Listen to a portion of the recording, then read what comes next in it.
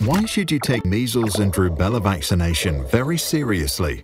Because they are serious diseases that can have serious consequences.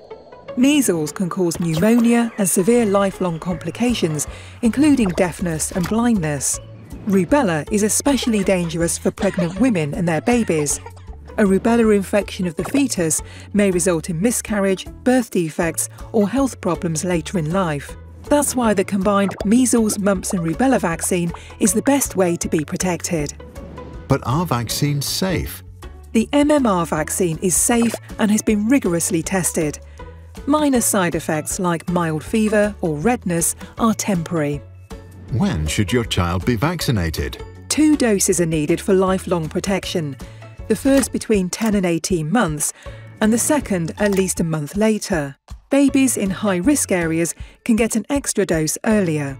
So, protect yourself, protect your child, and help stop the spread. Stay up to date with your vaccinations.